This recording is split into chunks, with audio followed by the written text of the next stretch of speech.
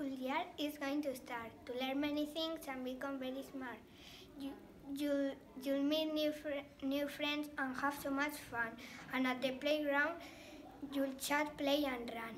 But remember just one important suggestion. Please raise your hands when you have a question.